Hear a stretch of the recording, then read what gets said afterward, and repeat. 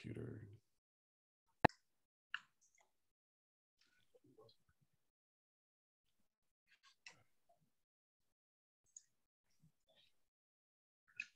Hello, and welcome to Jason Cavness Experience. I'm your host, Jason Cavness. The Jason Cavness Experience is brought to you by Cavness HR. At Cavness HR, we deliver HR to companies with 49 or fewer people with our HR platform while providing you with a dedicated HR business partner. Our guest today is Miguel Ayala. Miguel, are you ready to be great today? Yes, absolutely. Let me pull up your bio. Sounds good.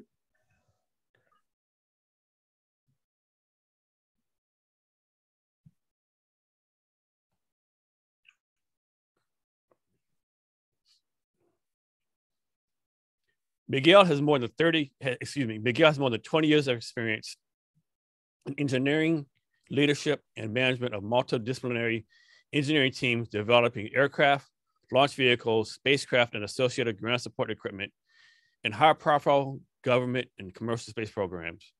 He is passionate about contributing to groundbreaking innovation in space exploration and aerospace transportation. Now we're going to, we're going to geek out for a minute. With the intent of becoming an effective, well-rounded leader, he has devoted his entire career to gaining a broad background in engineering and leadership, encompassing small startups and large corporations, design, analysis, test and manufacturing, propulsion structures, mechanisms, and thermofluid systems, technical leadership projects, and people management.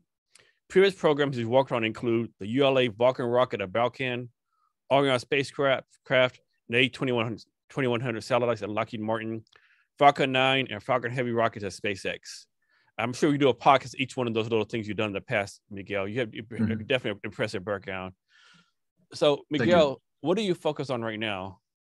So right now, I am leading um, a, a, an aerospace startup called Aphelion Aerospace. And at Aphelion Aerospace, we are essentially putting together a one-stop shop for CubeSat integration and launch operations um, for, for low cost, on demand, and more importantly, we're using green propulsion technology to make this um, not only low cost and, and, and um, uh, you know highly efficient and quick, but also environmentally friendly. So we're going to talk more about you coming in more detail later on. Mm-hmm. But you're you're in the Denver area, correct? Correct. Mm-hmm. What, what's the tech and startup scene like there? Because you know people think in tech, you know, startup scene, they think about you know San Francisco mainly, some, some sometimes tech, sometimes Seattle, Austin, maybe Boston, New York City. What's it like in Denver right now? So Denver is up and coming. Denver is one of the, one of the hotter areas uh, for um, you know for tech, and uh, especially in aerospace. Uh, so so in the world, when it comes to like rockets and uh, spacecraft and all of that, the the the, the place to be is uh, the, the number one place to be is actually LA in um, LA, California. And then um, here in the US, the second place is Denver.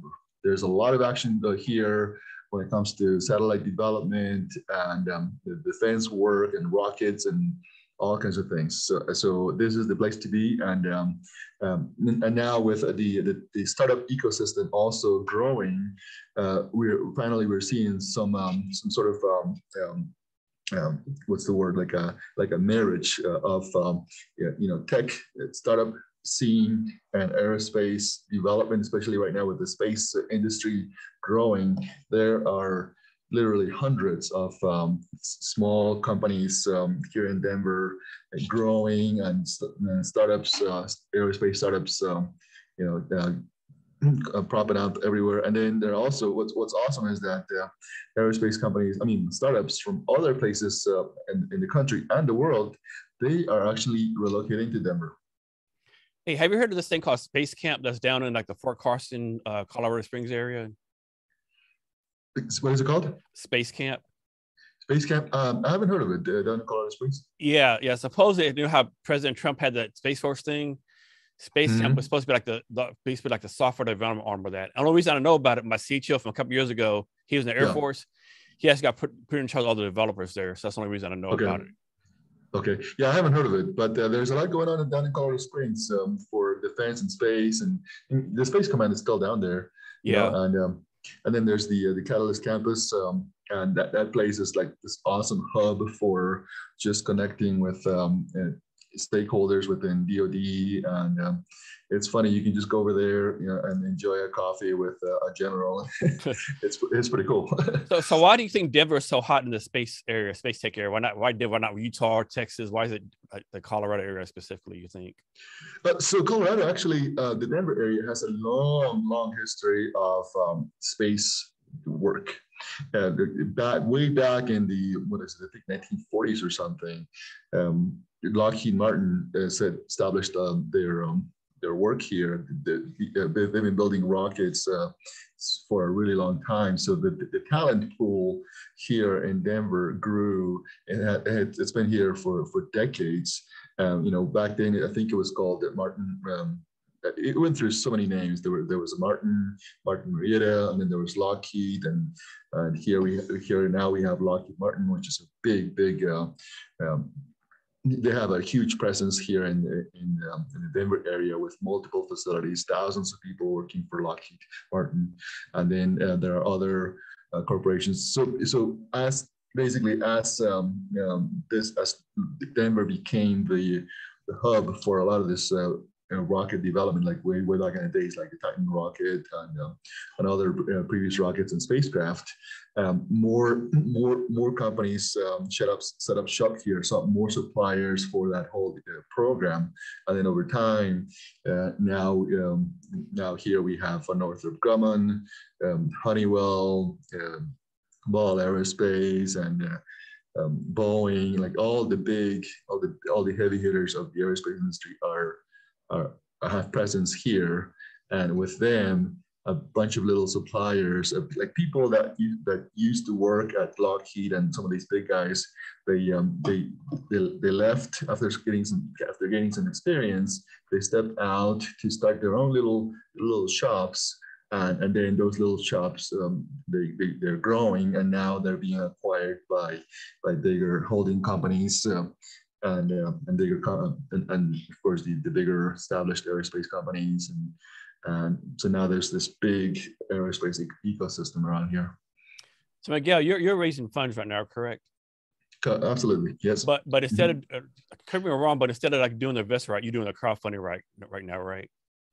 So so right now what we're doing is um, is actually uh, we're doing a, a, a parallel thing. We're raising 1.07 million dollars through Start Engine, and um, uh, we so far we've raised 132,000, and then um, in the last uh, couple months, and then uh, we're also raising a, a, two million dollar seed round from uh, traditional investors, um, and on that we are going through due diligence right now, and we're hoping to close by the end of the month.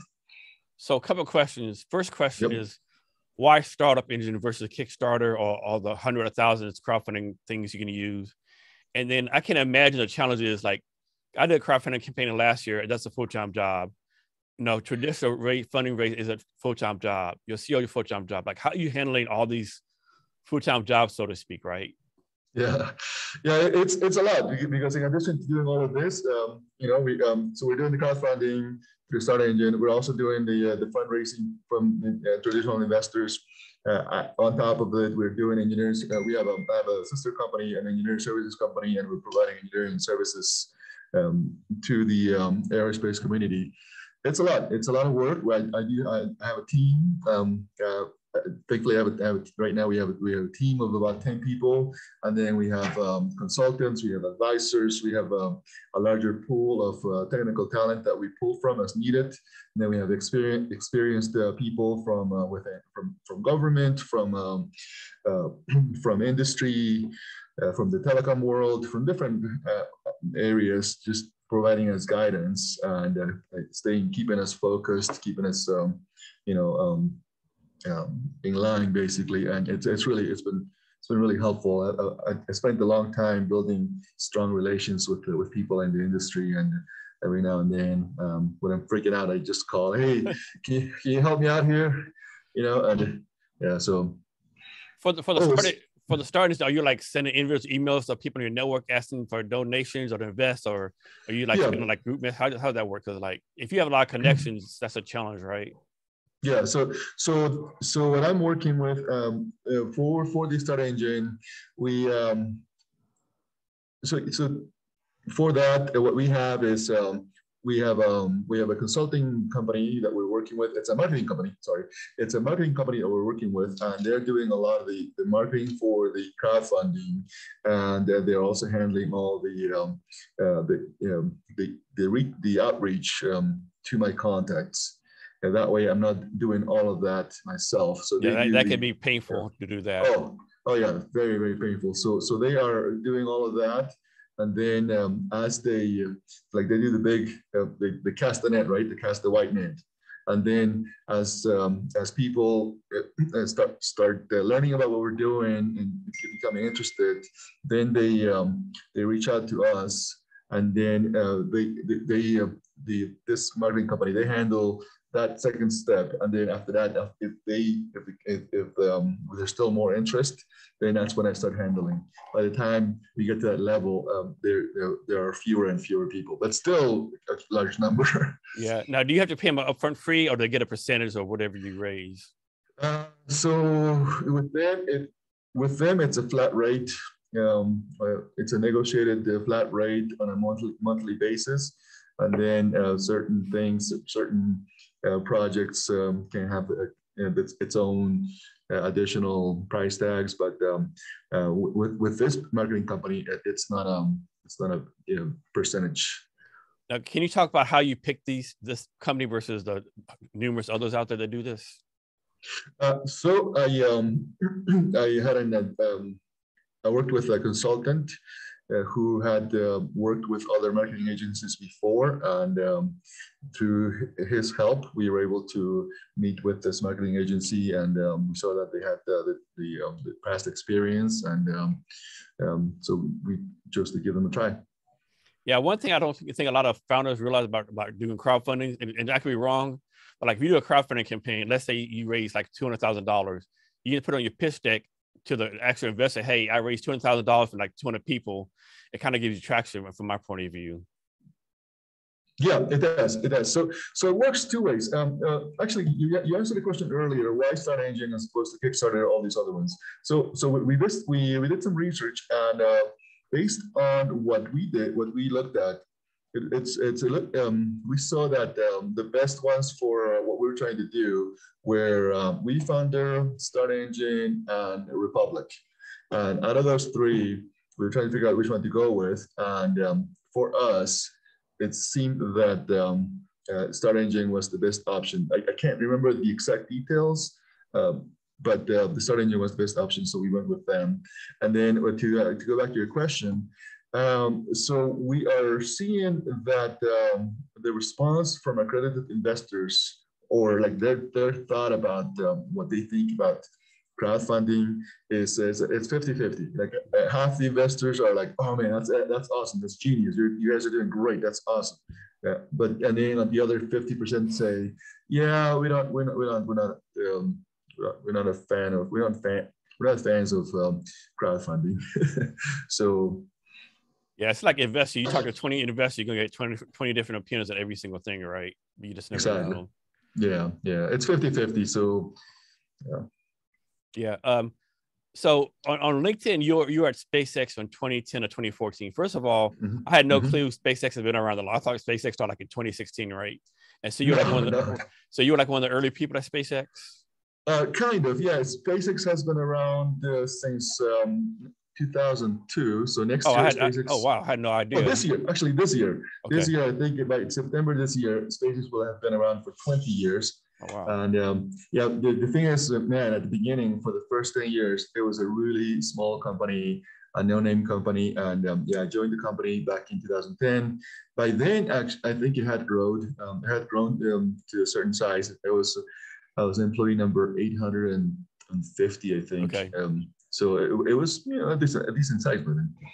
So yeah. how's the experience there? I'm, I'm guessing you you learned a lot there. Yes, I learned a lot, and um, I um, I learned a ton at SpaceX. I am very happy uh, for that. I I feel very very happy and proud that I was uh, part of SpaceX, and um, it was uh, I would say overall it was my my best experience uh, ever. I think it, it, that's the experience that uh, prepared me the best in the best way possible for what I'm doing right now. So on your company website, there's a statement that says revolutionizing access to space. Can you define yeah. that? Absolutely. So, so, so, um, you know how there's a there's a common phrase that says that's not rocket science. yeah, It's not rocket yeah, science. yeah. You know? But So- sometimes so- it is. Sometimes it is rocket science, right? Right, right. So, so it's all it's it's implying the difficulty of space launch. It's implying that um, you know uh, rocket science, like uh, launching launching rockets, is difficult. Well, here's the thing, though. Um, rocket launching rockets, yes, it is difficult. Yes, it is difficult. Um, however, uh, rocket launch, launching to space, especially to low Earth orbit, is even more difficult because since the beginning of, um, of the space age, we've been launching uh, rockets in the same way, using the same propulsion technology, using um, uh, using cryogenics, these uh, these super cold um, uh, fluids, and um, and also like for the for the big booster for the big for the for the big for the thrust that you need, but we've been using these um, these highly complex um, propulsion systems using um, cryogenics, know, super super cold um, fluids, and and and also and, and um, as necessary these uh, solid propellant powered boosters that, that not that are not easy either. And um, once they start burning they can't stop. And then on top of that on the on the second stage uh, uh, for like attitude control for to control yaw pitch roll for that uh, we are using like see, these nasty toxic chemicals if you're exposed to those chemicals you either die or you get cancer there's no other option unless you Horrible are- options. yeah, two horrible options. You either die or you get cancer. And thing And is, I, I could be wrong. I don't know anyone who has survived cancer. Even if it goes away, eventually comes back, right? Right, right. That, that- that's the thing. Uh, you, I mean, it, it depends. Of course, it depends on the am- the amount of exposure. You know, you can still you can get away with a little bit, but um, um, it, it's some nasty stuff that, we de- that we deal with. Um, this is why uh, rocket launching rockets is really difficult because we're using we're, we're, working with these really super cold fluids. We're also dealing working with um, um, the this uh, highly toxic um, you know, chemical for you know for space applications, and um, all of that is just really really hard to do. And the the thing is, I've, I've been through this. I've, I've been doing this for 20 years, and I can tell you, it is crazy hard. Now, once you take the toxic stuff out of the picture, and then you start working with uh, uh, with with propellant with with uh, some some other fuel that's um, kind of like gasoline, where you don't necessarily need um, a mask um, and gloves to handle gasoline.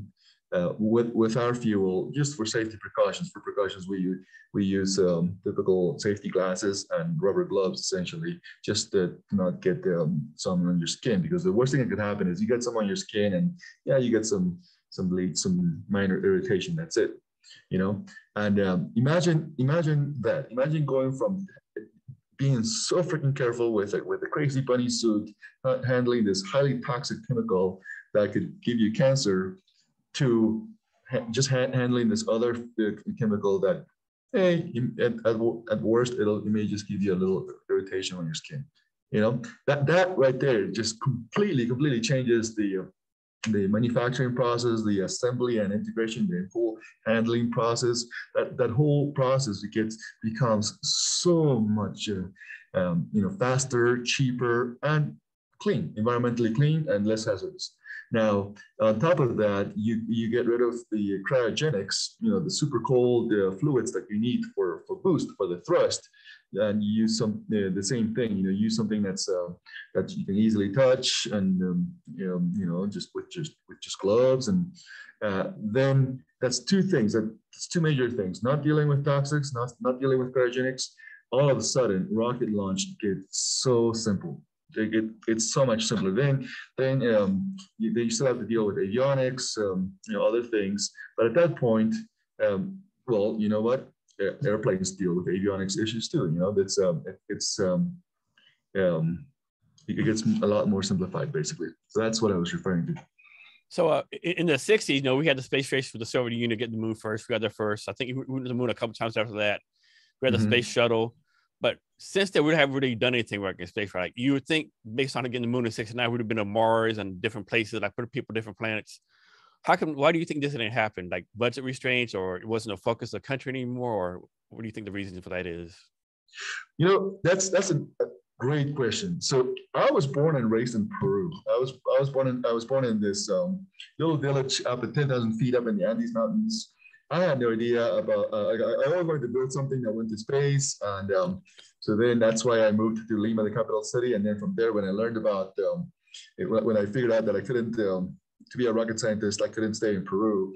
I uh, I was looking for places to go, and because I already had family here in the states, I moved to the states. Like I wanted to be here. I, I, I had this. Uh, I was in love with um, with America and uh, with uh, the, uh, the the the uh, aerospace industry here, with the Apollo program, with the space shuttle program, with all of that, and um, um, and then so I came here. I came to the states, and um, and then I what what I realized as I was working, excuse me, in the industry is that even though we were doing amazing work, like uh, like like 80s um, from like 50 from like 1940s to to like 1970s, I would say we were doing just great work. We were just kicking ass.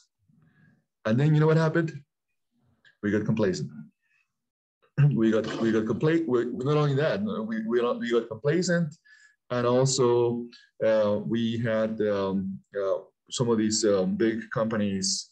By the way, they're, they're good. They're good people, good companies. You know, I have lots of friends in these big companies. However, we got too complacent um, with um, being, being, you know, being at the top, being leaders. At the same time, uh, when these big corporations um, got so big, um, they they didn't they, they lost the desire to keep innovating.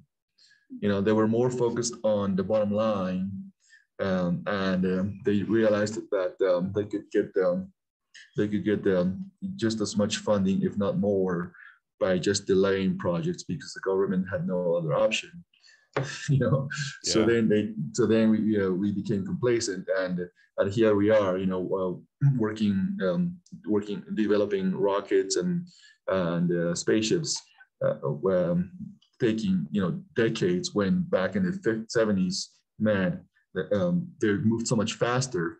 And that's that's what it is. We got too complacent and we got too um, um like too cautious i think uh, with uh, with spending money uh, to the point that here we are, you know, um, uh, back uh, in, in, in, the, in the last um, you know, 40 years or so, yeah, since the space shuttle, we haven't really made that much progress in, in aerospace and um, in space here in the US. And we, we've done some things here and there, but uh, not as much as like we would have thought, considering that back in the 70s we were already in the moon, you know. So, so so yeah, so that's what happened, and then um, and, then, and, and then when it comes to space launch, for example, it's been it, has been so stagnant. You know, it, no, no, nothing happened until Elon came around in the early 2000s, and um, and he, him, and, and of course SpaceX with the, the team at SpaceX, they changed the. They changed the um, the way they, they showed how space launch could be so much cheaper, so much cheaper with uh, with multiple changes, with multiple with and the thing is uh, with only with, with about three things. They they, they they changed three things. One was um, um, they uh, um, they focused on a vertical integration.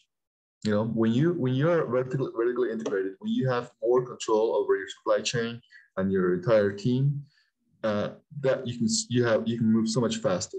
Whereas other companies, other aerospace companies, um, rely on like like a like big uh, like dozens and hundreds of uh, of suppliers, um, where you lose control of um, schedules and priorities.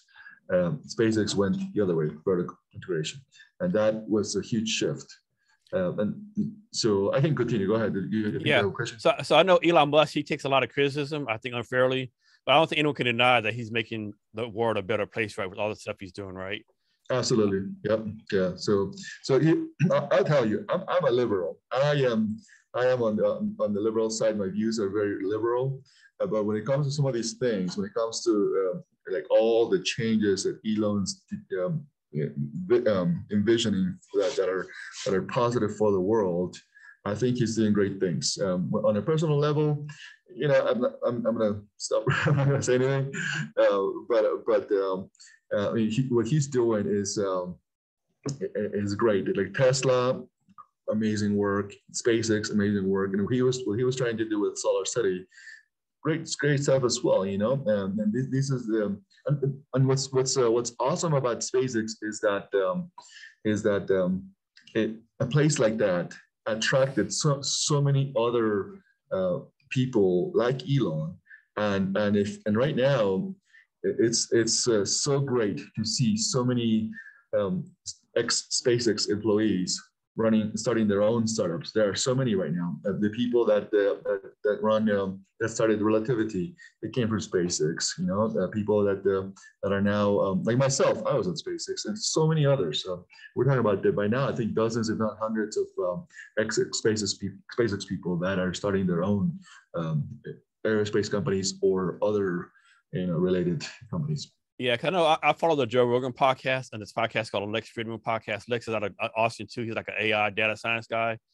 And you know, I must have been on both podcasts several times. Every time I listen to it, I just feel like my IQ getting higher and higher, right? Just by listening to what he's talking about, right?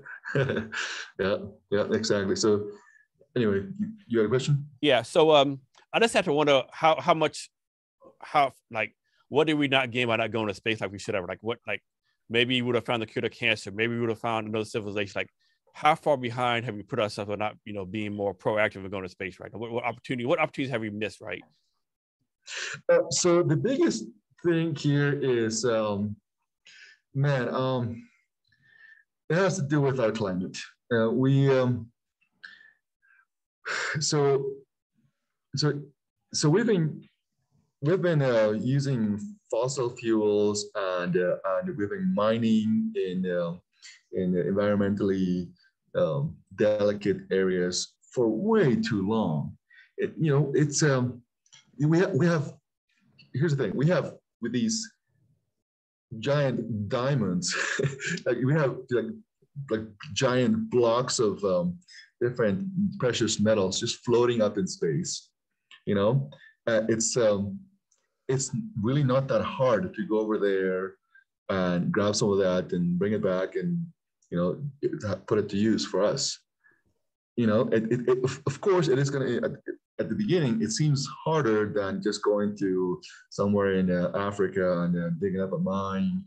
Um, yes, it is. It, could be more difficult than, than that, but th- there's where we come in. There's where innovation comes in. There's where automation comes in. There's where robotics comes in. A lot of what we're trying to do here in, in space could be um, could be done by robots. We don't need to be uh, sending people out there to do this stuff, you know. So, so I, I, um, I think that um, right now um, we um, we've we've put so much focus on relying on fossil fuels that are that are finite here on the planet. Same with mining. You know, um, we're we're digging holes everywhere and impacting the environment, and um, and now we are dealing with all with with the consequences. And I wish you know decades ago when we saw when we noticed that the glaciers were were um, melting a little bit, and um, you know uh, what um, I wish we had seen that, and I wish we had pushed harder to innovate to to get out there and collect all the riches that are in space. There are literally uh, trillions and, and trillions of um, uh, of uh, uh of dollars worth of minerals out there just floating, just hanging out. You know yeah, talking about, talking about consequence. So I'm from the West Texas area. I grew up in Odessa, Texas. And of course, they're doing all the fracking there, right? And now they're having like almost daily earthquakes. There was never an earthquake in West Texas before, right? So because of the fracking, how that that stuff works now, they have earthquakes all the time, right? They're not mm-hmm. big, like like 3.5 force. That's you know kind of big, right? And then mm-hmm. they were never happened before because of fracking is happening now. Of course, the oil companies, oh no, has nothing to do with fracking, but okay, it has to be something. It's not a coincidence, I don't think. No, no, it's it's not. And then, then like in like for example, this this year here in Denver, we haven't gotten snow uh, until last week. We just got snow, and um, you know, here in Denver, it typically snows. Uh, starts snowing in, October, November for sure. By November, it's snowing, and uh, you know the ski resorts open, and um, it's all great, you know. And um, and here we are, you know, this December, and we barely got some snow. I went to the mountains um, last weekend, and um, um, I, it, it, was sad to see this this ski hill, like half the hill closed, and some of the other hills. I was, I was looking at some of the other ski ski resorts, and at one place Oh man, um, one of the one one of the coolest places here in town, one of the closest places in town, great for beginners. Um, they they were only like 29% open. You know, that's that's what's going to happen. Like it, it's a like you know we we love like some of us uh, we, you know we love going to the mountains, we love going skiing. Like I, I love to go snowboarding, but um, well, over time, in a, in a few, what uh, what I'm, um, it's, it's, looking like, uh, I think by 2050, um, what is it, like 50% of the ski resorts will not have enough snow. They will not be able to get uh, cool enough to keep um, uh, snow. And then uh, it sounds like uh, by 2080 or so, with 20, maybe it was 2100, um, 80% of the um, ski resorts will be gone. So here's my snow story for you. So when I was in the army, I had to go to down to Fort Caustic to do some army stuff, right? And so was supposed to be a few days. We were supposed to fly out. We, we got stuck there for three days because the blizzard came. The month was July. It just blew my mind. Like, how's it snow in July? This is like crazy, right? But everyone were like, no, this is normal. We, yeah, what? Yeah. my mind. Yeah, yeah. The thing is, here's the thing though. Um, so let, let, let's say let's say that um, that uh, we still want to use fossil fuels. Let's say that we still want to do these other things because it makes money and everything else. Well, you know what? How about this? How about we come up with ways that both things can exist? How about we think about ways to to regulate the um, the, the environment better? You know, like we we have. I think we need to put a lot of focus in um, in uh, like earth science and um, in, um, the, so this is a i'll share something really really funny with you really interesting have you heard of nostradamus yes i have okay okay okay so so i so uh, i saw that um um that he had uh, by the way i don't i don't believe in this stuff okay but but but back in i think it was around in the 1500s or something 1400s i can't remember but he had um um he he had um uh, what's the word? He had foretold that um, by the by this century and the next, I think, um, that we were going to um, humanity, we were going to uh, develop ways to manipulate weather on Earth. So so it's more um, um, I guess, livable, you know, for uh, for us. And well, you know what? We're gonna have to do that. We at, at the rate that we're doing, if we don't make if we don't if we don't make any changes, man, it's gonna be pretty uh, pretty horrible here. I mean, we're we're already seeing um, uh, like climate change uh, in, in influenced migration. There are some places where you can't you can no longer you know um, grow stuff and um, yeah, I mean, it's, it, it is going to happen regardless of uh, on which side of, of, on the political uh, spectrum you, you stand. It's um, it's going to happen. We just need to figure out what to what to do. It's, it's, it's not um, this has nothing to do with uh, being a tree hugger or whatever.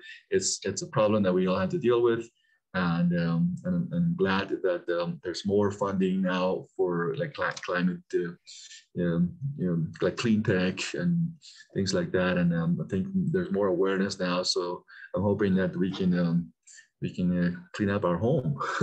Yeah, it's the only home we have right now. so Miguel, I'm pretty sure the same way, but back in the day, you know, if you had if you want to be a NASA astronaut, you have to be like top of the top, you know, one percent, whatever, like that, great shape, all that kind of mm-hmm. stuff. But now like you know really shot over to space at 90 years old right? Now of course it, did he really go to space? You know it's part i think the upper atmosphere so he can go like the moon or anything but how in shape do you have to be to go to space right? If you know like people like 90 years old are going there now was that really a mm-hmm. requirement or something that's made up?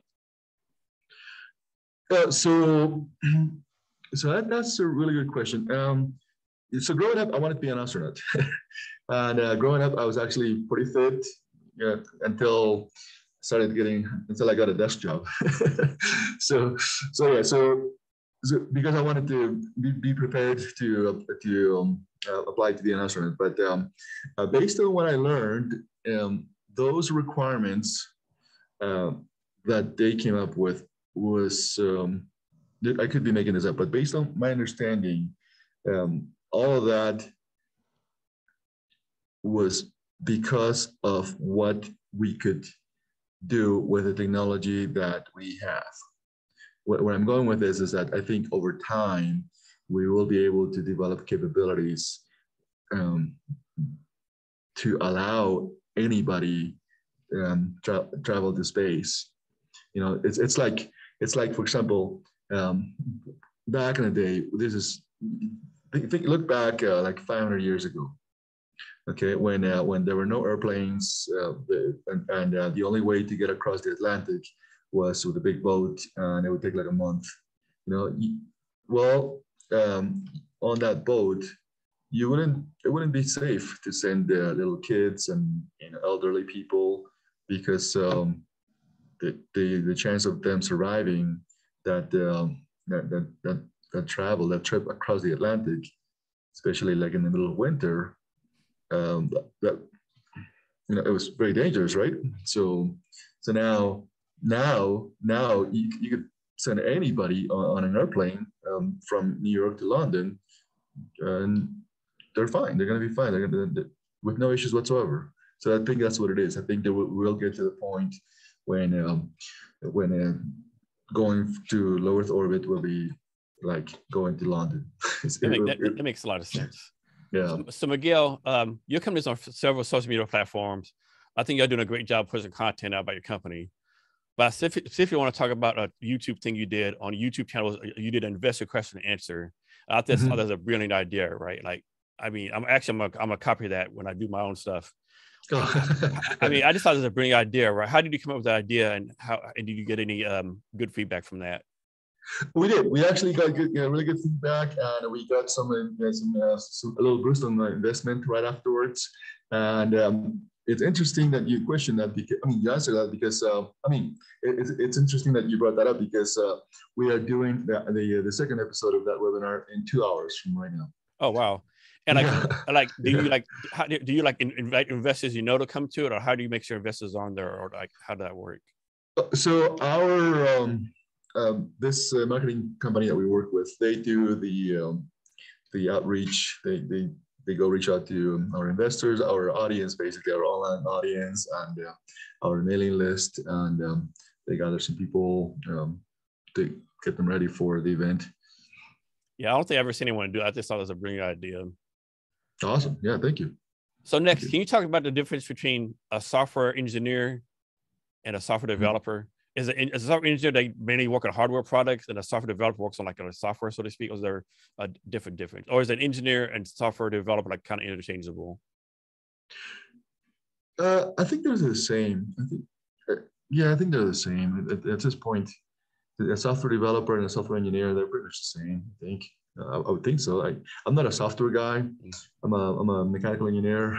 I, I can I can talk about propulsion and the, and the structures, but man, when it comes to software, that's just not me.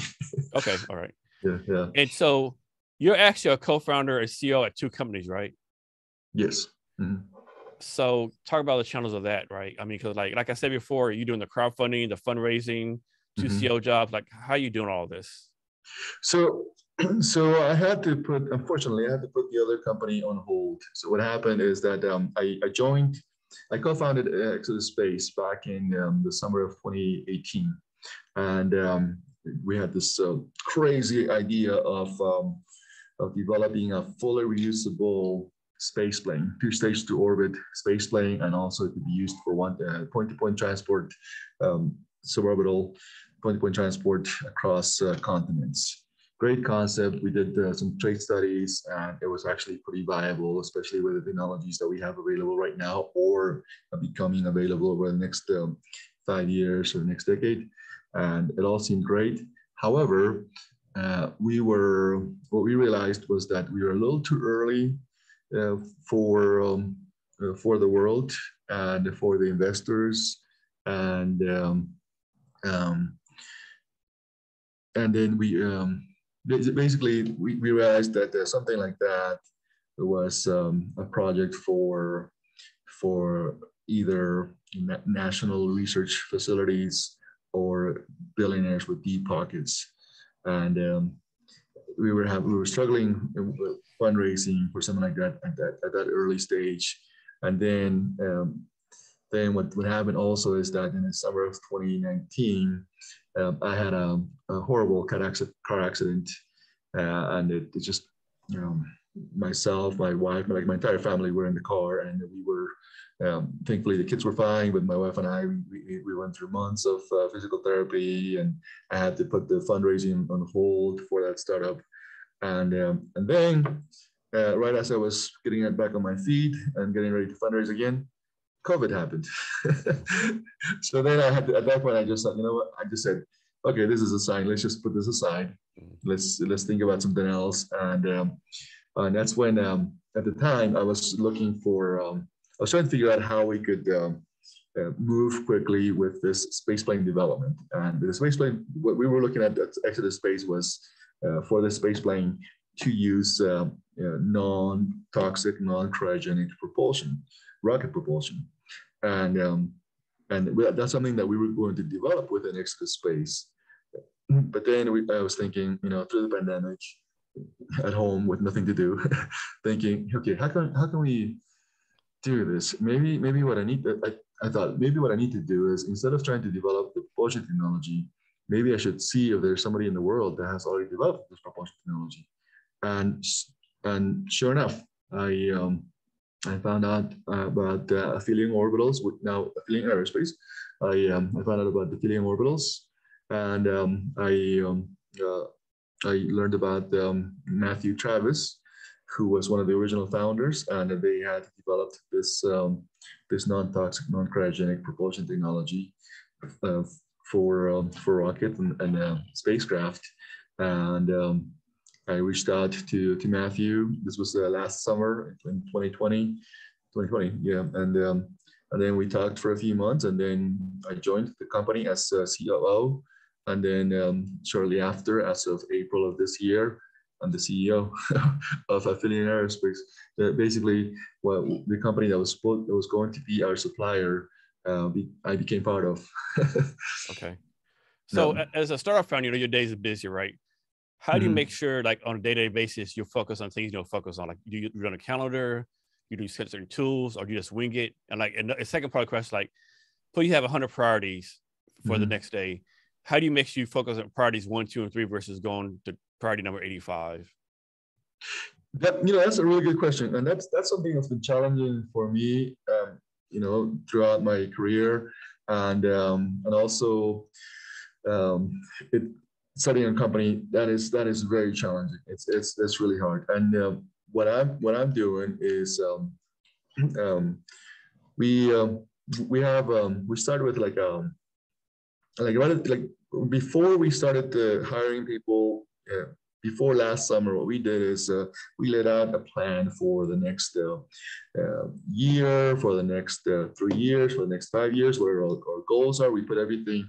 We we um, we had we got the, we saw that we put together the big picture. And then from that, we work backwards and um, we have these, uh, right now we're, we have these uh, 30, 60, 90 day goals. And, um, and then based on that, we are uh, dissecting that some more. And then we have these uh, goals for the week, for the month, yeah, for the, for the week. And then from that, back to goals for the day. And, um, and that's how I'm, I'm, able to reduce the number of things that I have down to just a handful of things I need to get done uh, each day. And um, so like I have, um, um, I, have, uh, let's see, I think I have like 200 tasks. I have like 200 priorities right now. Uh, however, out of those 200 today, I will probably, I will, I will probably accomplish um, five, and that's okay. As long as long as there's progress, I'm good with that. So, Miguel, how do you do this? Like, you know, some people famously work 100 hours a week. Other people work Monday through Friday. You know, diff- different have different different things, right? I, I know mm-hmm. a friend of mine, he, he, works 21 days in a row and then takes three days off, right? Or no, four days off, right? How do you mm-hmm. do your schedule? Yeah, that's another great question. So, so I'm actually I'm married and I have three kids, and I try to be I do my best to, um, to be available for the for the family for the kids. So when I when I'm um, when I'm home in evenings and weekends, um, I am full on family. Uh, but then every, every, chance I get, I'm trying to do something uh, on my phone. So so the way I do this is um, um, in, in the morning, I wake up around um, uh, six or so, six about six in the morning. I get um, start with I um I make breakfast for the kids, um, and then I take the dog for a walk. And um, that during so so here's the thing. Before I go back, when I when I wake up in the morning, right at the, um, like around six in the morning, I um, get on my phone and I look at my priorities for the day. Okay, and I make and I look at what things actually need, need to get done. Um, uh, and then I see if there are any emails that are really critical that I need to respond. Um, so then I don't respond. I don't do. I don't respond to anything in that in that um, you know, 30 minute period between 6 to 6:30, unless it's something absolutely critical. Uh, but I just look. I just get a mental picture of what's ahead. Then I make, make breakfast for the kids, and I try to be uh, you know there for the kids for breakfast. Then I go. Uh, I take the dog for a walk, and during that walk, um, I'm just I may be walking, I may be physically there, but my mind is just preparing for the day. Okay, what are the things that I'm doing? When you're walking the dog, I'm guessing you don't have like any iPhone with you, and like just you and the dog, right? Yeah, yeah. It's just me and the dog, no electronics. It's just me and the, and I'm just thinking. I'm just you know mentally preparing for the day and actually getting my light exercise. Um, so just mentally preparing for the day. Then I come I come home and uh, and then I I um I, I make it a priority to take the to walk the kids to school. My wife and I we, we walk the kids to school. During that walk, I am I'm doing my best to be fully engaged with the kids, uh, but at the same time, I am it's a it's an it's um, also even though, even though it's a walk, at least I'm not sitting. So it's uh, another way to like to get my mind. I mean, get my body and mind. Um, yeah, like what's the word? Um, soft. Um, you know, um, flexible, I guess. Yeah. So then I come uh, come to the I come into the office. I show up in the office around nine in the morning, and from then I just just work hard, really, really hard, all the way to like 5 p.m. or 6 p.m. Um, and then I go home and, and take a break for like three uh, three hours during a three hour period until about um, 8 p.m. or so. Um, I I am like disconnect everything and I'm with my family, having dinner, hanging out with my wife. And then around 9 p.m. or so, um, I get back on the computer or the phone and I'm on there for about three hours till till, till midnight. Uh, just at, at, that point, and at night, I'm not actually um, doing any um, actual work. I mean, um, not um, at night. I, I, use that time for research. During, during the day, like I, I, I use the um, the 9 p.m. I mean, then I, I use the 9 a.m. to 5 p.m. block uh, for meetings, for discussions, for getting things, um, you know, for communication. At night, I try not to bother my teammates. I try not to bother anybody, and I focus on research between nine between 9 p.m. to midnight. That's um, that's where I, uh, I'm researching, where I'm maybe sending out a few emails if necessary, but it's mostly for research. Yeah, I think you bring up a great point. You know, nowadays people say, you know, listen to podcasts, read books, content, content, content. But I think we tend to forget what a great thing it is, like have nothing on, right? Just like have maybe 30 minutes a day of just like nothing in your brain, right? And just let your brain like operate freely and like, uh, like I I, mm-hmm. I, I, I, I, I, try to do it once a week. I'm trying to do it once a day, but like all the ideas that come in your brain that that's you didn't think of before, because uh, because you like outside stimulation kills your brain waves. I think right. So I think it's a great yeah. thing you're doing. Yeah, it's a uh, man. It, you have to disconnect. You have to disconnect even for like 30 minutes a day. It's it's it's nice to just just just look around, you know, and and where we live, at, you know, Denver, it's, it's beautiful. It's beautiful. Yes, Denver is a great place, beautiful place. yeah, so it's nice to just walk, look, look around, you know, and just um, smell the roses. so, do you have a certain time of your day that you do like I think it's called like deep focus or deep work?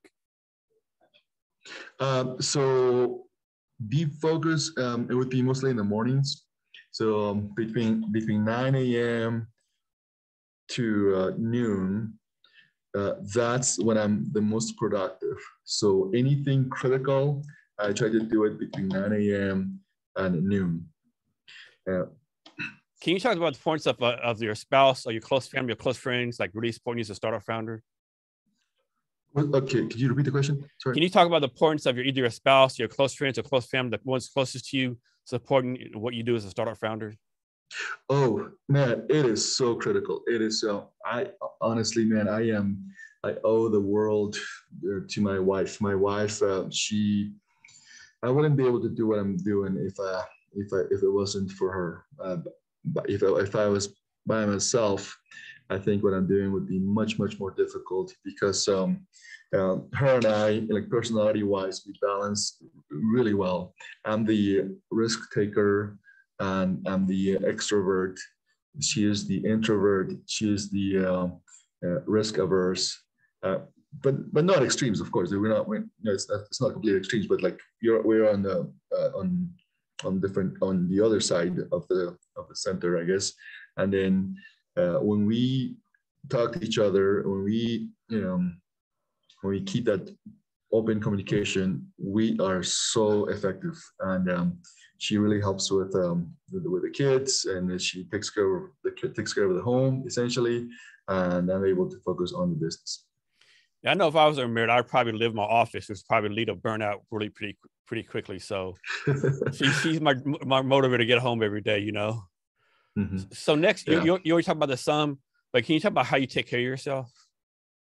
Uh, so on that on that one, you know, I need to do better. Actually, I've been in um, over the last uh, few few years. I've been more um, sedentary, just sitting on the um, sitting and doing you know doing office work. Uh, that's why I, I, got a dog, so I could walk, so I could do stuff, and, and it's um and, and it's and it's an active big dog, so I go around and uh, do things. So right now. Um, for right now, I, I, I, try to make sure to walk every day. And um, in the weekends, I make that, that time available to play with the kids. And we go do things like over the weekend on Sunday, we went um, snow tubing. And you wouldn't think, but man, tubing, even if it's just, um, you know, coming down and then going up uh, this uh, conveyor belt, it's still tiring because you're still at like 10,000 feet. So, so it was, it was fun. It was, um, and I, I tried to keep the weekends active, active. And um, I tried to, um, uh, get my physical checks every year, you know, and um, everything seems to be going well. And also, uh, this is one of the things that I recommend to everybody. I know some people still think that uh, mental health is um, is nonsense, that psychotherapy is nonsense. Uh, but you know what, man, I, I highly, highly, highly value mental health and psychotherapy. And I do have a psychotherapist that I talk to uh, once a week. And uh, I'm able to just have that one hour where I can just talk about some of the things that I wouldn't be comfortable talking about with my wife or with my colleagues or or whoever um, or my friends, you know, and because um, the thing is, whatever it, it, you, you can share as much as you want with your wife, but you also don't want to freak her out. And same with your friends, you don't want to be sharing all this crap with your with your best friend your buddy would like dude man you know? yeah so, so yeah and yeah, then so even even though like you might have co-founders like you just see you might have co-founders but like how much do you want to share your co-founders right because like you share too much yes. they can they can lose like you know um faith in you as so to speak right so yeah i think that's mm-hmm. a tricky thing exactly exactly yeah you, there's only so much you can share with your friends uh, and your spouse and your um, and your co uh, your colleagues and it's not that you're trying to hide stuff. It's just that, hey, you know, the, the, we, we have to be respectful, respectful of people's um, um, time and um, um, feelings, and you know, it, we can't just be like telling your your whole life story to. Uh, yeah, plus you don't know how they're going to react either, right? They might react in a way that you don't expect, you know, and throw you exactly. for the loop. Exactly. So, so yeah. So I, I highly recommend um, every uh, startup leader to have um, uh, to take mental health very very seriously uh, because what I've, what I've been seeing too. I don't know how common this is. I haven't done enough research, but um, um, man, this, this, is scary. I, I, I don't mean to talk. I don't really want to talk about this either. It's uncomfortable, but but, it, but I think it needs to be told. Um, I, I, am seeing um, some um, some cases of um, suicide and depression uh, amongst um, startup founders and leaders, and it's um, it's concerning, you know. And yeah, it's something so, no one no one wants to talk about, right? Right, but exactly. It happens. It, it happens. Uh, I just heard about uh, this 32 year old um, startup founder um, that committed suicide. I think. Uh, I think. I, I, but something happened and she died at 32, and um, yeah, uh, and so, the challenge is like no one knows someone else is going through, you know, and what's what's the rules? Like you ask someone how you doing, they say okay. You don't you don't mm-hmm. dive any deeper, and then things like even something's going on, are they are, are they really going to tell you, right? So yeah, right, you never know. Right. Yeah, and that's the thing. As, as a startup leader, um, especially with investors, you have to be, you know, in your game. You have to be you know, enthusiastic, and you gotta, you gotta, you have to look like you, you got every, you have everything under control.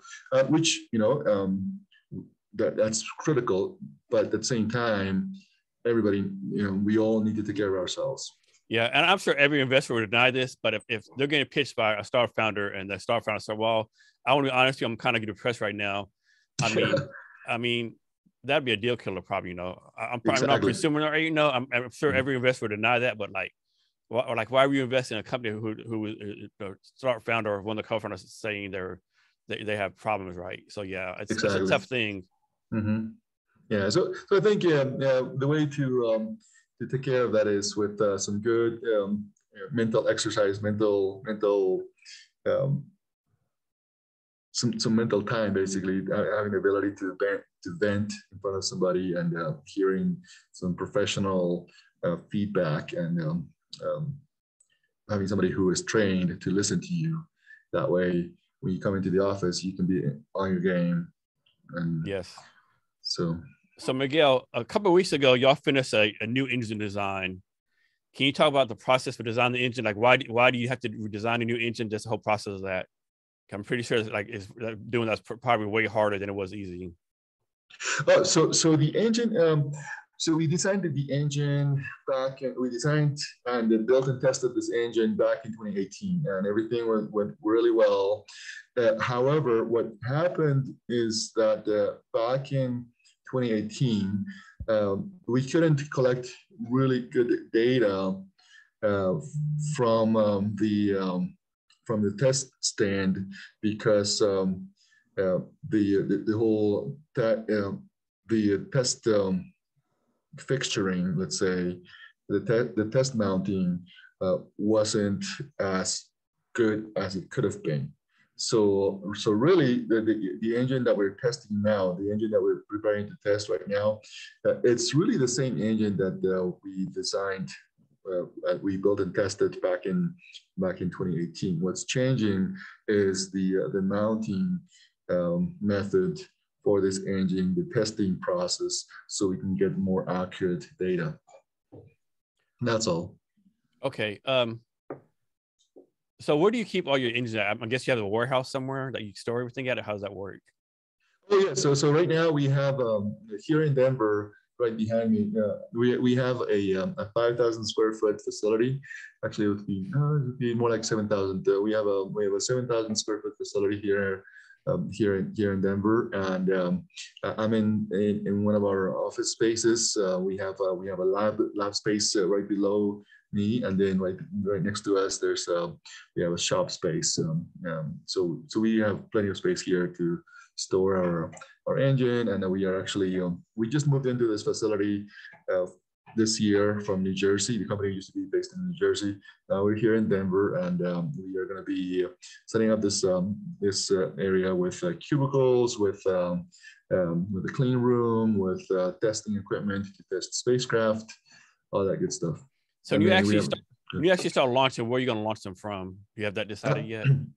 Uh, so, yeah. So uh, so initially, um, we're going to start the suborbital launches. Uh, we're, we're talking to the uh, Oklahoma Spaceport to start uh, to start the suborbital launches out of Oklahoma.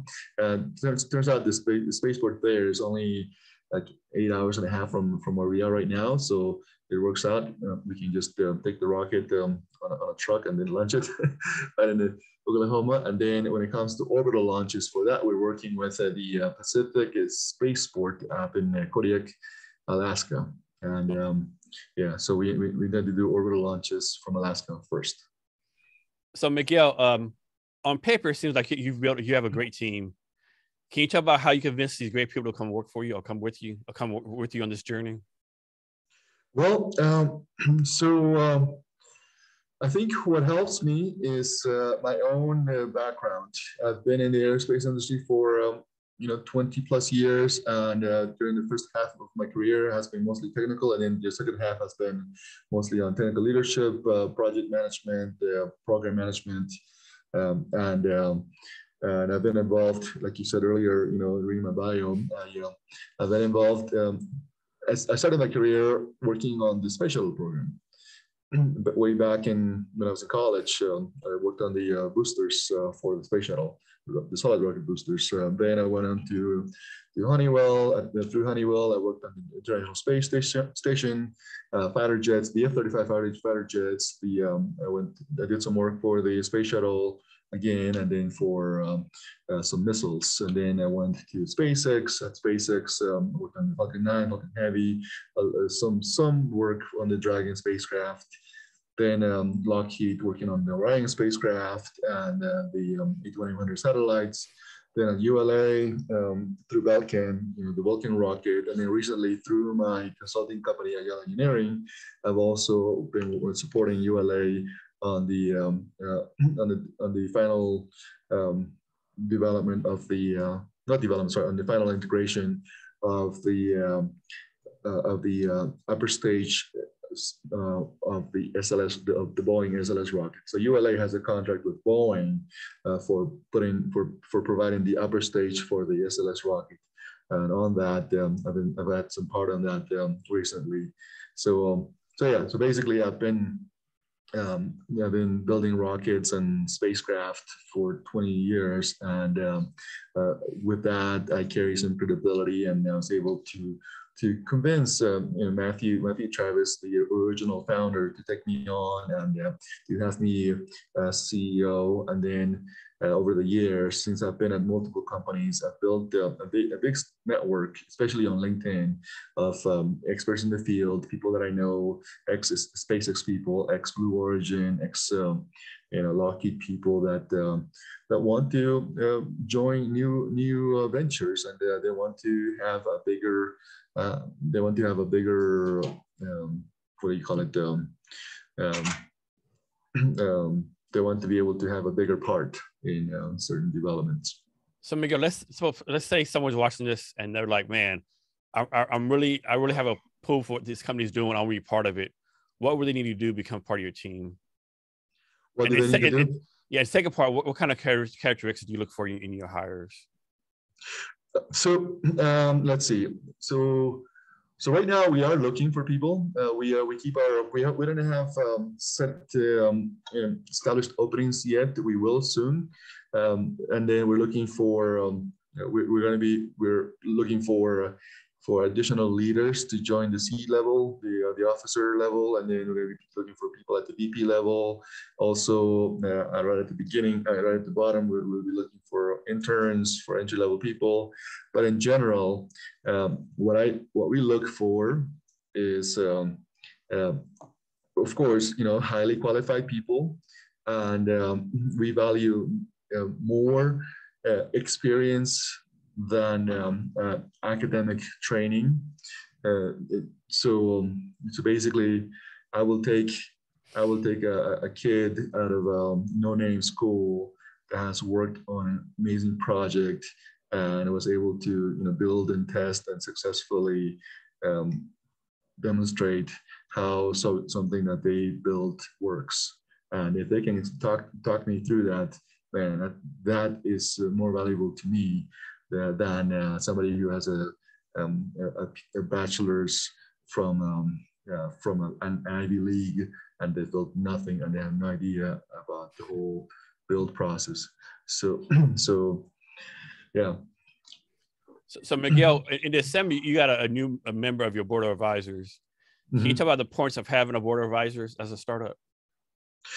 So, uh, what we've noticed um, uh, is that um, is that right at the beginning, it is very, very valuable to have uh, some um, uh, some well-known industry leaders to to vouch for you uh, because they have these um, these long established networks. They they, they have uh, the ability to to reach out to big stakeholders within the Department of Defense and NASA. Um, you know, they, they, some of these people, they may be their friends or people they know, or they know somebody that knows somebody, and they have really strong networks. So, uh, because um, you know we are kind of um, um, we, because we're not so popular in the aerospace industry, especially because we don't have that uh, that close of a relationship with big stakeholders within the government.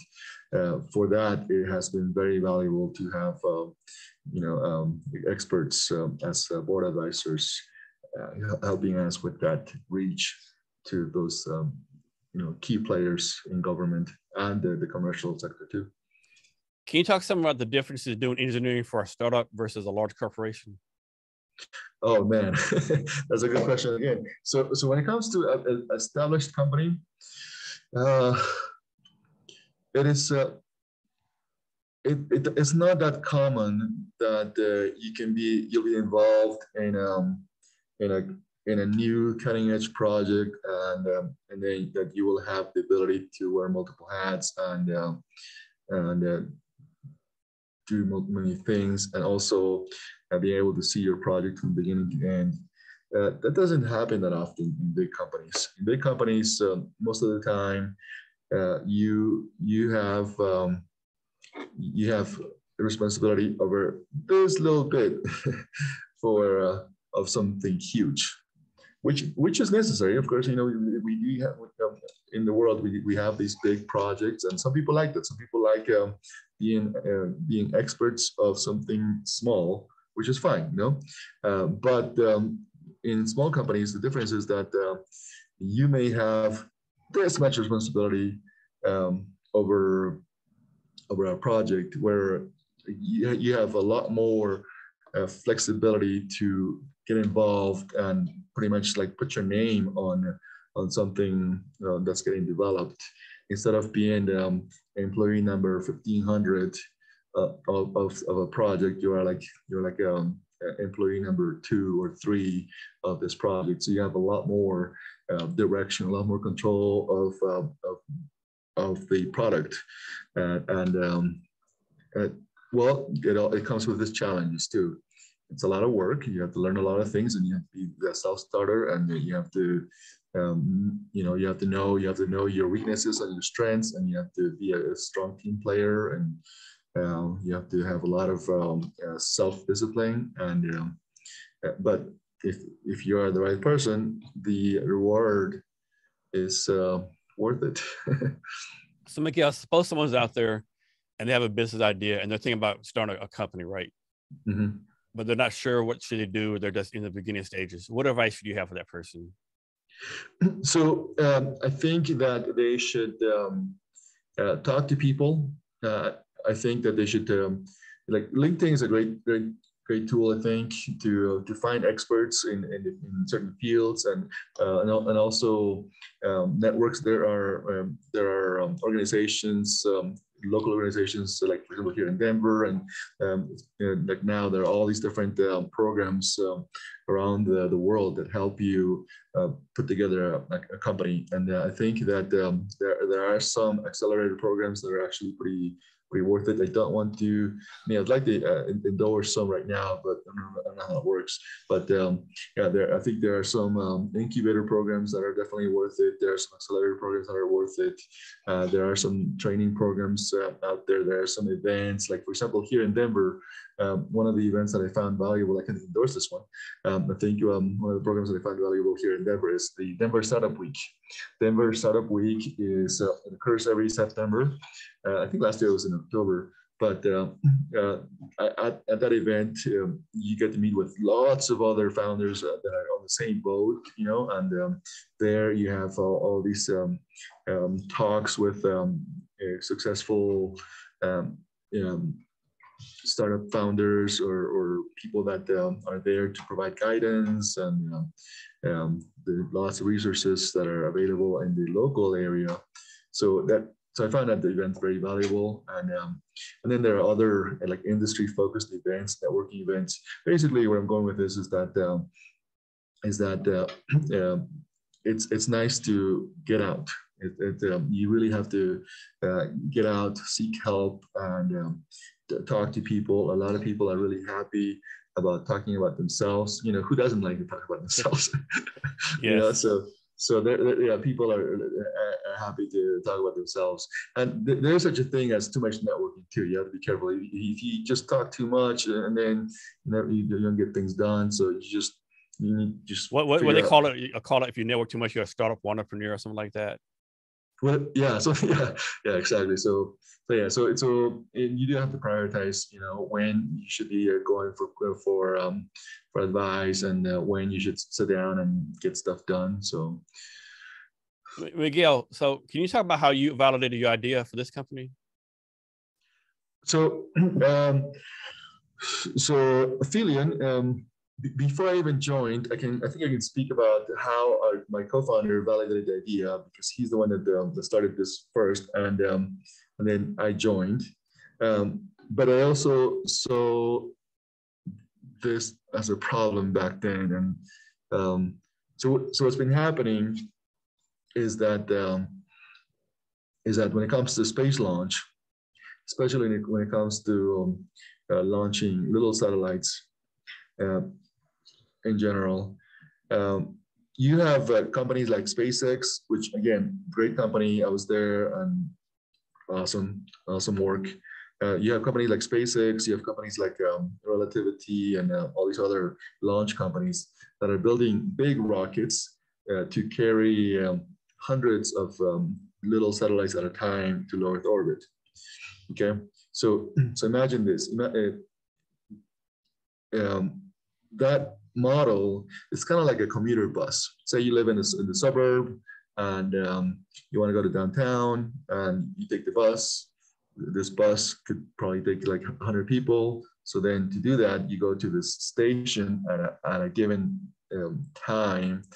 And uh, if you're one of the people, uh, if you're one of the last people getting on that bus, you don't get to, get to choose which seat you sit on, but you sit on that bus anyway. You may be, uh, there may be standing room only, uh, so you take it, and then you go on that bus to downtown, and then this bus drops you off uh, at some station in downtown, and then from there you have to find your way to your final destination. Uh, so that's essentially what these big rocket um, uh, companies are doing. They, they are providing kind of like a bus service for these little satellites. Uh, what we're doing is um, uh, we are we are providing a taxi service, a door-to-door taxi service that, that uh, picks you up at your door, essentially, and um, drops you off at your final destination in orbit. So in this like kind of like the what they I think it's called like the last mile problem that you're solving. Yes, yeah, yeah, exactly. So so not, not only not only are we solving yeah yeah so not only are we solving the last mile problem, we are uh, we are essentially um, solving the, um, the entire launch um, uh, process for little little CubeSats. So, so where I'm going with this is that typically launch is, is um, it's uh, um, when it comes to small CubeSats, uh, it's really really expensive for little CubeSats. Now, I mean, launch is already expensive it, for any for anything, okay. But then when it comes to little CubeSats, it is ridiculously expensive. You may it may cost you like fifty thousand dollars to build this CubeSat, but it could cost you like five hundred thousand dollars or more uh, like a million dollars to launch it, depending on when to want when, when you want to launch it and and uh, um, you know all of that, and and who, for example. So so now uh, because you um, because when you're going on a launch that has like a hundred um, um, satellites, and uh, you are some little player in the industry from I don't know uh, Africa somewhere or in South America, you are like secondary or tertiary uh, payload. you're not critical. You're not important. so so it so you're not given priority, and that's that's just the, the way it is. You know, uh, you, like on a bus, you may just get standing room. Um, you know, so so now with us, uh, with our technology, we have the ability to to launch. Uh, well, um, not only uh, are we are we offering a very very low cost launch service, also because we are we're not dealing with cryogenics and toxics, we can go through the whole launch process, the launch preparation process, so quickly. Uh, we can. Um, where right now, and the other problem is that it takes about one to six years to go from contract to launch. Okay, uh, that's that's a really long time. And when, when you have a CubeSat, imagine this: when you, have a CubeSat that uh, uh, that only has a lifespan on average of like three to five years, but you have to wait um, like like two years to be able to launch it. That's crazy. And then and then that doesn't include the, how long it takes for that CubeSat to reach its final destination once it's in orbit because orbit is huge. Orbit is like this huge, uh, you know, sphere outside of us.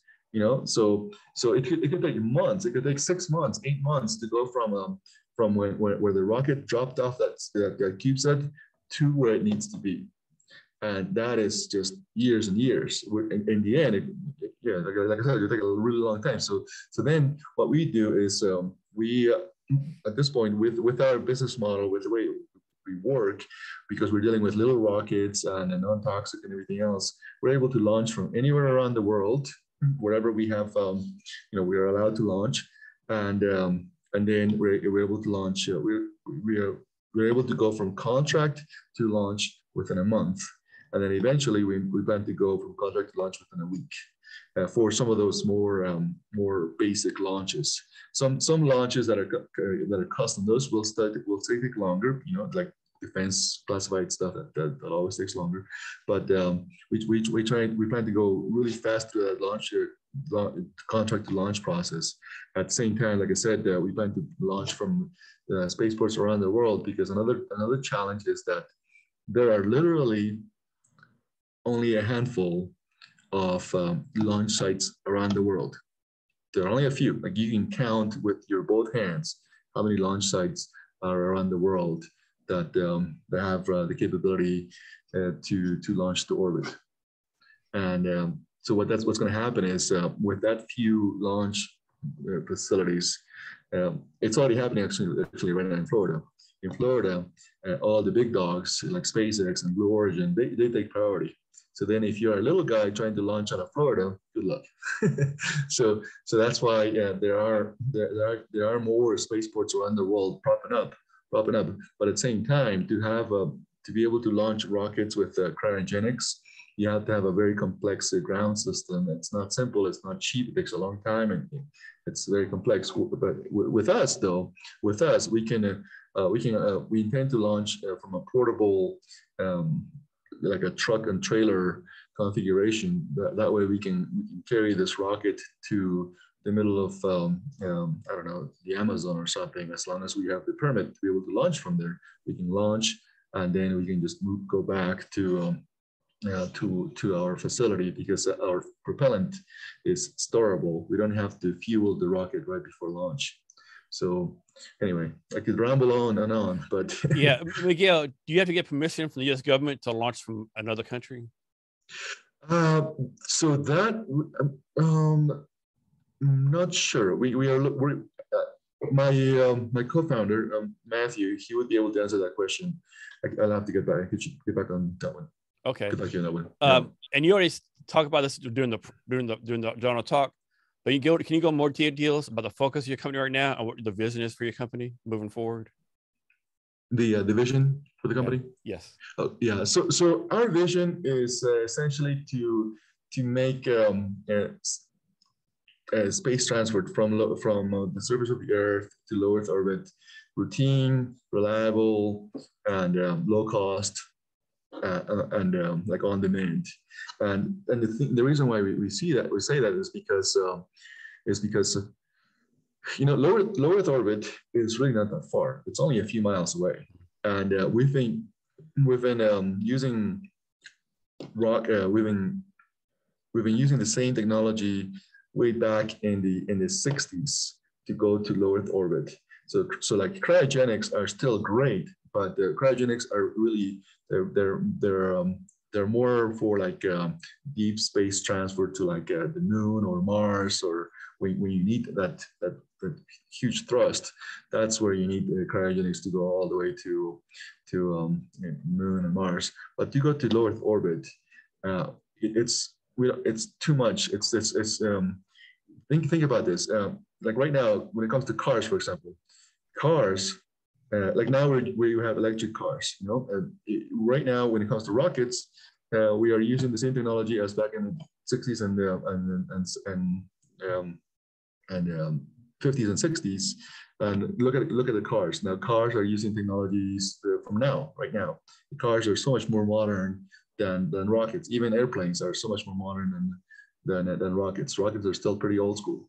So so now when you when you, when it comes to propulsion, for example, when you change the um, the um, when you make it um, um, when you don't, don't when you don't deal with cryogenics and toxics, the, the, whole thing just gets so much simpler, and that's what we see. We we want to simplify the launch process. We want to be able to uh, launch from anywhere around the world. And at the same time, we want to allow more, um, more people, more, more companies around the world, more research organizations around the world, and more students. And we want to give them the opportunity to be able to, to launch a, CubeSat, a, a small satellite to space, and um, do do research because we want to give more people around the world the opportunity to conduct research in space. I think we, we think that we can learn a lot from um, uh, from that, and um, um, yeah, and we want to help with that. So Miguel, I might be making this up, but is this true? Is it true that the tech that was used to put us in space in the 60s is, is pretty much the same tech we have on our smartphones now? I want to say I remember hearing that somewhere. Uh, actually, it's, it's even worse. it's, it's even worse. You, I would. Oh my yeah, goodness. It, yeah, it's it's man, it's crazy. Like your phone, yeah, yeah, your your phone has more tech than um, than all the all the computers that were being used back in the 60s. Imagine that. Like that's, that's what I'm trying to get to. We, we are using 1950s, 1960s, uh, at least at the most 1970s technology for rockets. You know, it's imagine that. Mind, mind-boggling.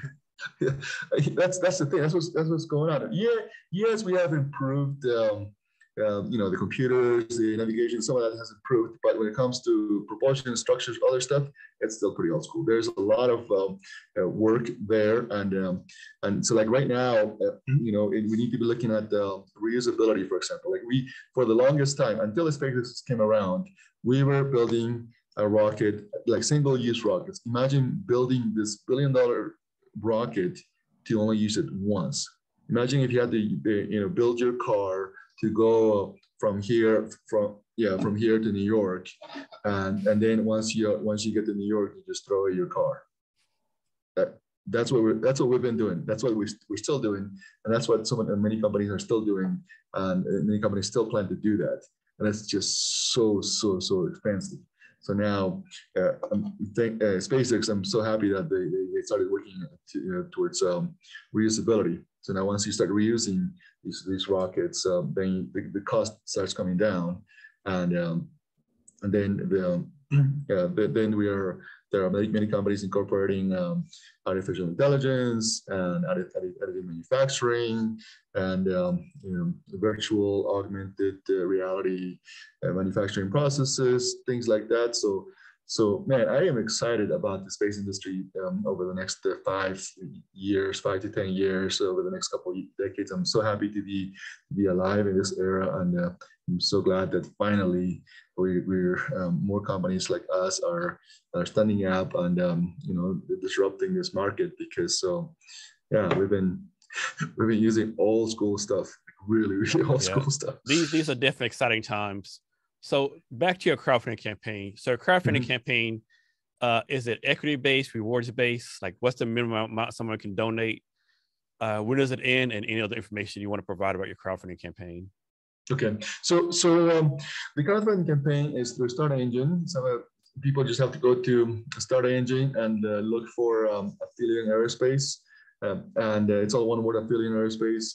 So I think it's like uh, let me see here. I, I think it's uh, Start Engine. Yep, startengine.com slash Aphelion dash aerospace. There you go, and that'll take you to our page. And um, we are currently at almost 133,000. It's um, it's for common uh, for, it's for common shares. Uh, each share is worth uh, two dollars and twenty two cents, and the minimum investment amount is uh, two hundred and fifty dollars and eighty six cents. Two hundred fifty bucks. But for two hundred fifty bucks, um, you get um, I guess about 100 and, and, and about 100 shares or so, about 115 shares, I think and um, it, this it's not a donation; it's an investment. And uh, we are in a in a growing market, in a, in a that's that's growing exponentially, and um, it is very likely that um, that uh, the company will be uh, highly highly valued. I can't get into details. I can't share that stuff, but I'm, I, all I can say is that uh, it is very likely that the company will, will be. Yeah, I'm guessing it does you know, it does you no good. They've value the company like a two million dollars, right? that'd, be, that'd be a horrible thing. Yeah, exactly yeah. So next off the subject, some but um, mm-hmm. so I wish I had a, a, pitch to show on the screen, but like in, in space, they always show like in space, like you know, like in a flat line, right? There's the sun, all the planets like right next to each other. Is that really how space is, looks out at outer space? You know, like or how does it look different? Is it like in 3D models? Like how does space actually look? Like oh, like another thing, like when you see a map of space, you don't see nothing on the top of the Earth, the bottom of Earth. It's always like in a straight line. Is that how? And like, and of course, all the planets rotating around the sun. Is that how it really looks, or is like a different dynamic? Oh, it's crazy. SpaceX, uh, I mean, space is uh, for me. It's fascinating. It's um, that's that's not how it, how it looks like at all. The uh, the planets are are uh, they're they're pretty far apart. They're like they're little tiny grains of sand, but pretty far apart. Especially like Pluto, for example, Pluto and uh, some of those um, um some of the uh, dwarf planets. They are just know, way way out there. Um, yeah, it, some um, like I think uh, Uranus. I think it um, it rotates in a different way, and um, yeah, it, there's there. Yeah, the, the, the, books don't show. So that's not correct. How it looks like. No, no, it's just you know you have to you have to fit everything on one page on one image somehow. mm-hmm. so yeah, I remember yeah. I saw one design where like it was a thing where it said like a house how how space actually moves had like the sun in front all the planets like in, in a gyroscope behind it following right like half mm-hmm. the people said this is correct other people said no this is not correct right right yeah So um some planets follow elliptical uh, actually, that's think, elliptical that's yeah. what it was elliptical yeah yeah i think i think all planets actually uh, follow elliptical orbits uh, even with um even the earth i think has a, an elliptical orbit and um uh, the earth is not uh, it's not a perfect sphere it's kind of like a it, it, like a it's fatter on the um, along the equator. You know, it's it bulges around the equator. And what's interesting about that is because that that is because um, it's partly because the moon has its own gravity gravitation pull. So the moon pulls the um, the the water from the oceans of the earth towards it a little bit that's why there's uh, low tide and high tide. It's, it's the moon pulling and releasing the water of the oceans. So Miguel, do you think there's other intelligent life out there somewhere, or you think we're the only intelligent life in the universe? What's your take on that? I I think that there's absolutely life somewhere else. I think the, that uh, the universe being so big, like how can it not be something somewhere, right? Yeah, yeah. There, there are man well, it, so the thing is, right now, um, when you're in the city, when you're in cities and you look up, you only see a few stars, and you think, oh, that's it, you know. So, it, like I grew up in the in the Andes Mountains, way up in the in the mountains at ten thousand feet, with no uh, city lights anywhere near. And at night, on a on a, on a, a good night, on a clear night, wow, you see the entire Milky Way. You see just so many stars, like just you can't even count. You, there's so many. It's so bright up there. Uh, uh, and then that's the thing. There are right just here on our, on our galaxy. There are, from what I hear, um, like billions of stars. And of course, um, not all, but a lot of the stars have planets uh, you know floating around them and uh, yes like we like we see here on, on our, in our solar system yeah you know there may be eight eight big planets floating around and uh, perhaps some of them are rocks and some of them are just gas gas balls but then um, every now and then there, there could be a planet or two that's um, rotating at, a, at just the right spot you know, to be able to have harbor life like like here on Earth. And um, Mars seems to be not too far from um, being able to to uh, uh, um, support life uh, with you know some minor tweaks. and then and then there yeah there should be there should be many many I'm sure there must be many many Earth uh, Earth-like planets around just in, in our galaxy. And then there are so many other galaxies, you know. So yeah, yeah I'm sure there are many. I'm, I'm sure there are many um, species, many life forms um, in the universe. Miguel, is there anything that I should have asked you that I haven't, or anything else you want to talk about? Uh, let's see. Um, um, yeah, I can't think of anything right now. I think. Um, um, oh, actually, a couple things. Later this month, assuming everything goes well, later this month we're going to be um, testing our rocket engine. So it would be it would be cool. We, we will let people know that when we're testing, we're going to be testing at our test facility up in Wyoming, uh, just a couple hours north from here. So stay tuned for that. Uh, also, we are, uh, uh let's see, um, yeah, we are going to be, we, we have a webinar in, a, in, an hour from now. So we'll be doing that. Uh, just stay tuned. And uh, I'd ask everybody to just uh, to follow us on LinkedIn, Twitter, Facebook, Instagram, YouTube. Uh, we're trying to put more and more content out there. Uh, so uh, if you have any questions, uh, please um, send us send us questions, comments, anything you like to info at um, aphelionaerospace.com. We want to hear from everybody. We want to hear your thoughts, especially people that um, uh, that uh, you know want to support us in any way. We love that candidates, uh, you know, um, bright people that want to work with us, talented people that uh, that are humble. we, we want to work with them. Uh, also, um, also uh, questions. we we here's the thing. We don't mind we and we want constructive criticism. If there's something that we could be better, we want to hear it. So, so Miguel, the test launch, are you going to do that, do that like, like live on social media when you do the test launch? Um, no, we're gonna, we're gonna make sure that everything goes well first. Okay. and yeah, because it's uh, yeah, we, will record it and then we'll we'll share it. Okay. Okay, that's yeah. great. Yeah. Mm-hmm. And for listeners who have the links to social media links and a, in a, in a, in a um, crowdfunding campaign and everything else on the show notes, you can find the show notes at www.cavnesshrblog.com. And be sure to share this episode with your networks and be sure to rate, review, and subscribe to Jason Cavness, Jason Cavness Experience on your favorite network, favorite podcast platform. So Miguel, we can end of our talk. Can you give us any wisdom or advice or anything you want to talk about? Yeah, yes. Uh, so a few things um, to um, to think about here. If you're a um, um so I know that uh, there's there's a lot of hype uh, about uh, young um, entrepreneurs uh, starting businesses and stuff.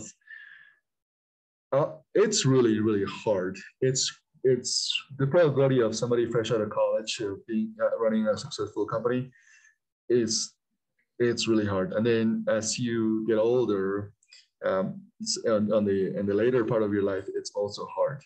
And from the research that I've, that I've seen, it is best to um, I mean you have a higher probability of success if you run a company, if you start a company at mid-career, meaning in your late 30s, 40s, early 50s, in that 20 in, in that 30 year span from like 30 to 60 that is the um, that is where you you have um, you have enough some some experience enough experience you have your network yes you still have your energy you still have um, you know your, your physical health your mental health and um, you're you're you're better at um, uh, at um, communicating at um, you know talk, talking to people things like that. So, so um, that's one thing I, I would um, I would advise uh, to people, to young people, to young uh, uh, ambitious people, if you don't have a, a clear um, product to sell right out of college, if you ha- if you are want to explore things, you, if you want to figure things out just because you just want to give it a shot, you're probably better off um, just going to a, a, company like SpaceX or like um, you know one of the one of the aerospace companies um, and getting some experience, and then in your own time, you can, you can while you are gaining that experience in your own time, you can still fiddle around and mess around with things, and then you can figure out what is it that you want to build. So then, by the time you're you know by the time you have at least five years experience or ten years experience, you have gained all that. Uh, you know teamwork um, experience, all that leadership experience, all that um, industry knowledge and network, so that by the time you get started, you are more informed and you have a you, you can do things better. Uh, now the uh, another thing is um, uh, when it comes to startups, um, make sure you have a good business plan. You know, work on it before you jump into things. You have a solid business plan. You don't have to have it all written down. You can have um, a, pitch deck. You can have um, some spreadsheets, um, and um, always have a, a, a, plan A and a plan B and a plan C for for things. You don't don't um, don't assume that all these things are going to work out and you're going to hit your timelines. and you're going to be under budget. That is never going to happen. so, so whatever budget you come up with, multiplied by three. Whatever whatever uh, timeline you come up with, multiplied multiplied by three always have some sort of backup plan for things that, that may work out because uh, when you're starting a company a lot of things will not work out. So yep that's um, that's my advice. Miguel thank you for your time today. I really appreciate it. Thank you man. Thanks a lot. Thanks a lot. Thank you so much jason. And to our listeners thank you for your time as well. Remember to be great every day. Awesome